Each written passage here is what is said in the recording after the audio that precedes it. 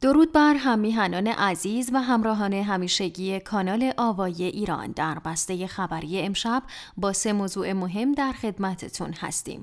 خبری شوکه کننده برای مردم علی کریمی به 80 ضربه شلاق در ملع عام محکوم شد. در ادامه این بسته خبری خبری داریم از افشای جزئیات قتل قاضی منصوری، جعب سیاه فسادهای بیت خامنه ای در رومانی و در نهایت هم خبری درباره آغاز رسمی طرح سیانت در ایران و خداحافظی ایرانیان با شبکه های اجتماعی. پس با ما همراه باشید. لطفا پیش از هر چیزی با لایک کردن این ویدیو به بیشتر دیده شدن این اخبار کمک کنید. با سپاس از همراهی شما. مجازات جادوگر. علی کریمی ستاره سابق فوتبال ایران به 80 ضربه شلاق در ملع عام محکوم شد. یک استاد حوزه علمیه قم گفت علی کریمی باید 80 ضربه شلاق بخورد. حسین خادمیان استاد حوزه علمیه از قوه قضاییه خواستار شلاق زدن علی کریمی پیشکسوت فوتبال ایران شده.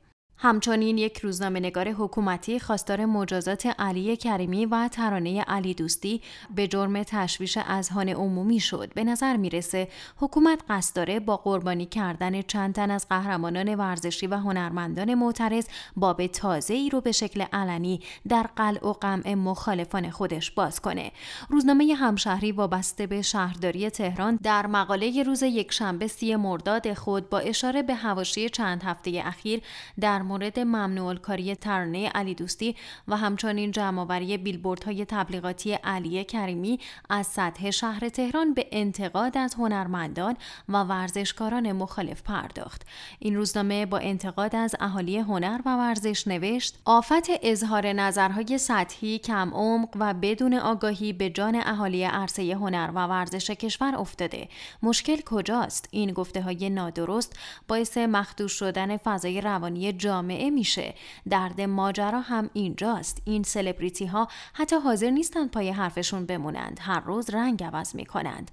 روزنامه همشهری در ادامه به برخی فعالیت های اجتماعی و همراهی افراد مشهور با جریان های مردمی و اعتراضات اشاره کرده و نوشته سلفی گرفتن با زلزله زدگان کرمانشاه همراه شدن با اختشاشگران آبان 98 حمایت از قاتلان و جانیان با هشتگ اعدام نکنید دروغ و افترا نسبت به برقرار کنندگان نظم و امنیت با هشتگ توفنگت را زمین بگذار و غیره همه دستبخت چند سال اخیر سلبریتی ها بوده که در خوشبینانه ترین حالت ممکن میل شدیدی به دیده شدن داشتند و نادانسته در زمین دشمن بازی کردند. این روزنامه حامی حکومت با بیان اینکه این افراد باید هزینه کارهاشون رو بپردازن نوشت بالاخره این سلبریتی ها در این بلبشای گفتاری روزگار ما حرف بزنند یا نزنند موضع بگیرند یا نگیرند. حتما آزادی بیان وجود داره حتما هر شهروندی آزاد اظهار نظر کنه. اما این روزها با پدیده سلبریتیز مواجهیم پدیده ای که در اون سلبریتی ها فراتر از حوزه فعالیتیشون در همه عرصه های سیاسی مذهبی فرهنگی اجتماعی و غیر نظر میدن. وقتی این چهره های شناخته شده هنر و ورزش اصرار دارند در هر امر تخصصی و غیر تخصصی حرفی بزنند باید هزینه اون رو هم بپذیرند. اگه اشتباه کنند و هواداران خودشون رو به اشتباه بیندازند اگه نادرست بگویند و سیاه نمایی کنند اگه اثر سو بگذارند و فرهنگ عمومی رو تخریب کنند باید مسئولیتش رو بپذیرند و پاسخگو باشند. همشهری برخورد با ترانه علی دوستی و علی کریمی رو اتفاقی مثبت قلمداد کرده و نوشته یک ورزشکار درباره یک امر مذهبی نظر نادرست میده و حالا باید هزینه اون رو با پایین آمدن بیلبوردها در شهر بپردازه. یک بازیگر در یک جشنواره خارجی به دروغ علیه کشورش حرف می‌زنه و حالا باید منتظر ممنوع کاری باشه. اینها اتفاقات مثبتیه که می‌تونه جلوی اظهار نظرهای نادرست و اشتباه سلبریتی ها رو بگیره به هر حال داشتن شهرت مجوز اظهار نظر بیقاعده در حوزه های تخصصی نیست همشهری در پایان این یادداشت بار دیگه تاکید کرد که سلبریتی ها باید هزینه این حرف زدن رو بپردازند. ماجرای علی کریمی از اونجا آغاز شده که او در صفحه شخصی خود به نحوه نظری دادن مردم انتقاد کرده و بعد از اون فیلمی از یک آخوند به نام حامد رضا معاونیان منتشر شد که در اون با بیشرف و نادان و احمق خواندن علی کریمی به او انتقاد می‌کنه. درگیری های کریمی و این فرد چند روزی در شبکه های اجتماعی ادامه داشت و علی کریمی در طی این مدت به برخورد غذایی و همچنین 80 ضربه شلاق تهدید شد. جسدی که روی دست خامنه ای باد کرده. افشای جزئیات مرگ قاضی منصوری جعبه سیاه فسادهای علی خامنه ای عباس مسجدی رئیس سازمان پزشکی قانونی جمهوری اسلامی در گفتگو با خبرگزاری ایسنا درباره مرگ غلامرضا منصوری قاضی متواری متهم به فساد مالی گفته نباید از این سازمان انتظار داشت بگوید او خودکشی کرده. جسد غلامرضا منصوری قاضی پیشین اجراییات شهرستان لواسانات سی خرداد سال 99 در هتلی در رومانی پیدا شد. مقام های قضایی رومانی گفتند او از طبقه ششم هتلی که برای ده روز در اون اقامت داشته پرت شده بود و علت مرگ او را خودکشی اعلام کردند. اطلاعات چندانی در مورد نحوه رسیدگی به این پرونده در ایران موجود نیست. یک وکیل خانواده منصوری پیشتر گفته بود پرونده مرگ قاضی منصوری با بنبست مواجه شده. عباس مسجدی امروز شنبه 29 مرداد به ایسنا گفته اگه انتظار این باشه که ما بگیم قاضی منصوری خودکشی کرده این حرف بی ربط و غیر کارشناسیه. مسجدی گفته سازمان زیر زیر نظر او زیر مجموعه دستگاه قضایی و نمی‌تونه در مورد پرونده های خاص اطلاع رسانی کنه. او گفته این اطلاعات در اختیار قاضیه. رئیس سازمان پزشکی قانونی جمهوری اسلامی درباره علت مرگ قاضی منصوری گفت نظر کارشناسی رو دادیم و اون نظر کامل نیست. اگه انتظار این باشه که ما بگیم قاضی منصوری خودکشی کرده این حرف بی ربط و غیر کارشناسیه. ما شرح جسد رو به قاضی پرونده منتقل می کنیم و قاضی با تحقیقات بین المللی و همکاری اینترپل و سایر ادله ها نظر نهایی رو اعلام می‌کنه. خداحافظی با رسانه های اجتماعی در ایران پای نظام روی گلوی اینترنت.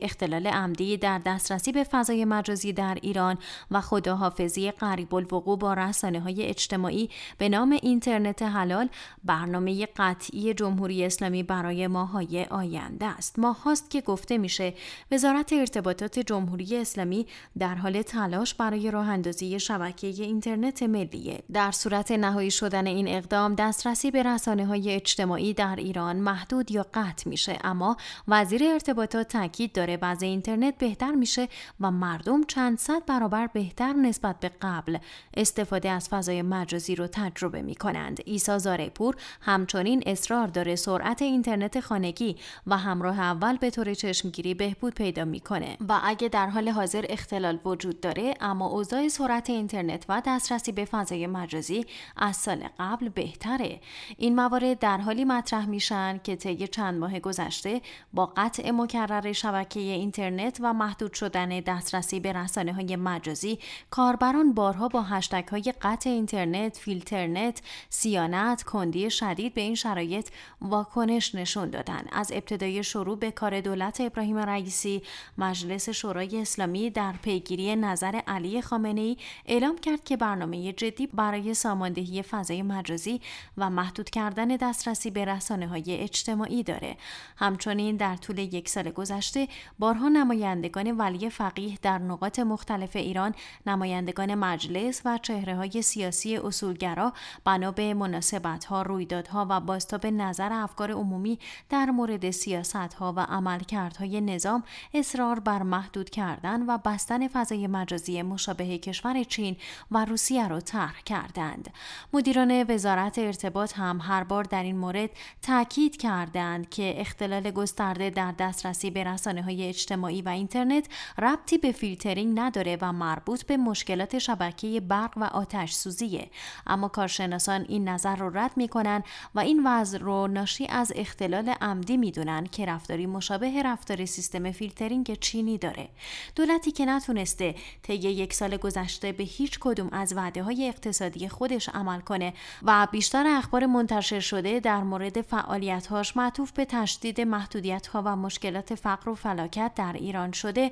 حالا در ارتباط با اینترنت هم مشاغل آنلاین رو با اختلال دائم اینترنت دچار گرفتاری کرده. بسیاری با توجه به اوضاع رکود و بیکاری در ایران آخرین نقطه امیدشون کسب و کارهای مجازیه که با شرایط فعلی و برنامه های پیش رو به نظر میاد بخش عمده اون عملا تعطیل بشه. هیچکس باور نمی‌کنه که با وجود اعتراض گسترده افکار عمومی برنامه سیانت چینی و روسیه نظام از فضای مجازی برای کنترل شرایط سیاسی و اعتراضها و به بهانه تأمین امنیت اخلاقی متوقف شده باشه و همه بر این باورند که با توجه به تشدید فلاکت و نارضایتی ها تلاش نظام بیشتر معطوف به اونه که بیش از پیش بر فضای مجازی و افکار عمومی تسلط داشته باشه و اون رو مدیریت کنه. کارشناسان و مدیران کسب و کارهای فعال در فضای مجازی هم بارها تاکید کردند برخلاف ادعاهای وزیر ارتباطات اختلالات شدیدی روی های رمزنگاری شده TLS و اخلال روی DNS ها باعث افت کیفیت اینترنت در ایران شده. مشکلاتی که ربطی به مسائل یا نواقص زیرساختی نداره و شرایط طبیعی زیرساخت نشان از اون داره که بیشتر مربوط به تغییر سیستم فیلترینگ از طرف جمهوری اسلامیه. از همراهی و پشتیبانیتون سپاسگزارم. شب خوبی رو داشته باشید.